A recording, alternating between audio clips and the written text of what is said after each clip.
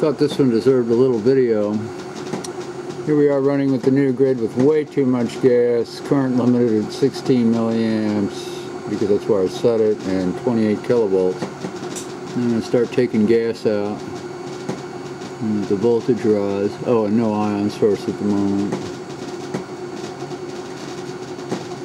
And while we're waiting, I should mention the new ion source. I mean, the new grid does show the null effect with the ion source. 42 kilovolts. 49. And the thing I wanted to show you in this video is that bright incandescent dot on the screen I have, which was originally intended to keep RF out of the world. Is also obviously saving my two pieces of glass. What I find interesting is you can see this hazy blue um, around it with glasses lighting up from electrons hitting it.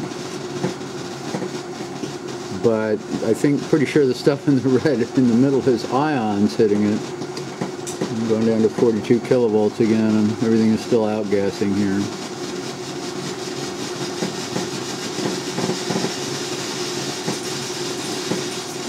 And I got too little gas and we're getting the usual conditioning stuff.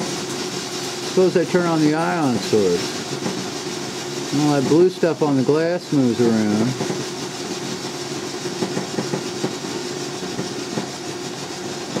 Of course we have a bright spot at the back of the grid where the heat always happens. And you'll notice, I think we noticed, the dot moved, the incandescent dot on the screen moved to the left. Which is not exactly what you'd expect. So I'm not sure exactly what I'm seeing here, but I'm seeing something I've never seen before, and that's always deserving of a video. Take out more gas here. This guy really crank up.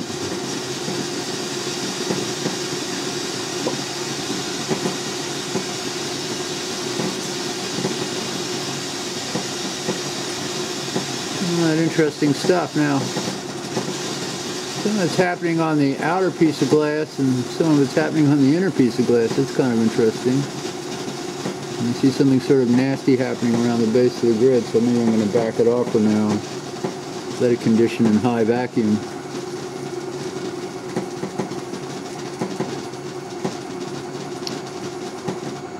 And Just let in some more gas here. And turn the high voltage off.